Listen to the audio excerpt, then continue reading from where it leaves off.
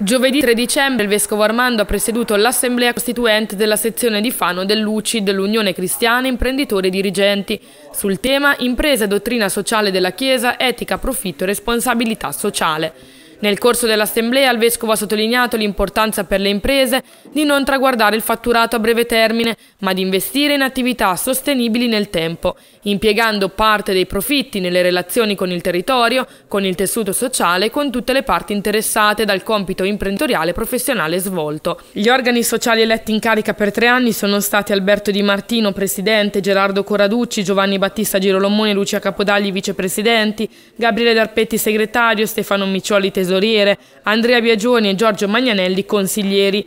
Il collegio sindacale è composto da Laura Cecconi, Simona Pierleoni, Vincenzo Fusco, Davide Del Vecchio e Leonardo Niti. Il collegio dei Probiviri da Mauro Dell'Erba, Francesco Giacobbi, Giacomo Falcioni, Fabrizio Schiavoni e Lorenzo Campanelli. Indicato come consulente ecclesiastico Don Antonio Biagioli.